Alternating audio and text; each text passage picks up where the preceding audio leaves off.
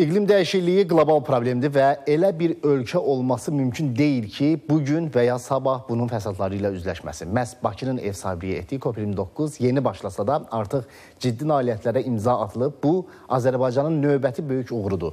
196 ölkədən 72 min iştirakçının qeydiyyatdan keçməsi, onların arasında 80 prezident, vitse-prezident, baş nazir olması, bir sözlə dünyanın aparıcı liderlərinin Bakıda olması göstərir ki, Azərbaycanın uğuru dünya tərəfindən qəbul edilir və Azərbaycanın bu tədbiri tədbiri yüksək səviyyədə təşkil edəcəyinə heç kimdə şübhə yox idi. Qısaca, Bakıda dünyanın xilası üçün ciddi cəhdlər edilir.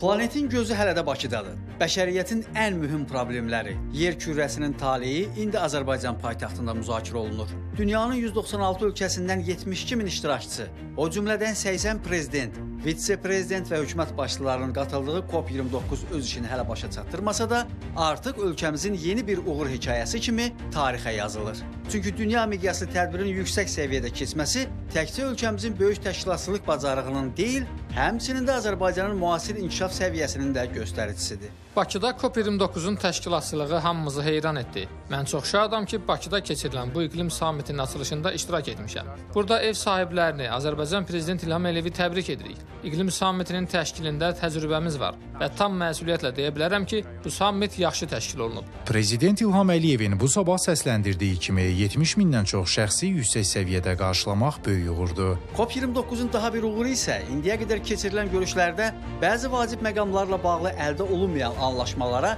məhz Bakıda nail olunmasıdır. Məsələn, 2015-ci ildə Paris razılaşması imzalandıqdan sonra çoxsaylı müzakirələrə baxmayaraq, onun karbon bazarları üzrə 6-cı maddəsi ilə bağlı hələ də razılıq əldə edilməmişdi. Amma COP29-un ilk günündəcə Paris sazişinin həmin maddəsi üzrə anlaşmaya nail olundu. Bu da ümumilikdə prinsipal xarakter daşıyan və COP29-un əsas gözləntilərindən olan 6-cı maddə üzrə tam razılaşmaya ümidləri artırır. Digər bir məqam isə beynəlxalq maliyyə korporasiyaları və bank strukturlarının iqlim dəyişikliyinin fəsadlarına qarşı birgə mübarizə məqsədi ilə öz maliyyə töhfələrini artıracaqlarına dair bəyanatlarıdır.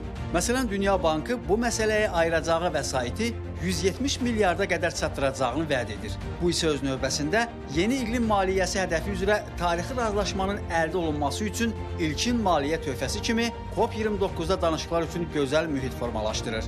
Ümumiyyətlə isə Bakı platformasında COP29 iştirakçılarının əldə etdiyi razılaşmalar beynəlxalq ictimaiyyətə ümumi təhdidləri önləmək və daha təhlükəsiz, iqlimə davamlı, ekoloji cəhətdən təmiz dünya uğrunda qlobal səylərin birləşdirilməsi üçün vacib ismarışlar kimi tarixə düşəcək. Vüqar Bektaş, ATV xəbər.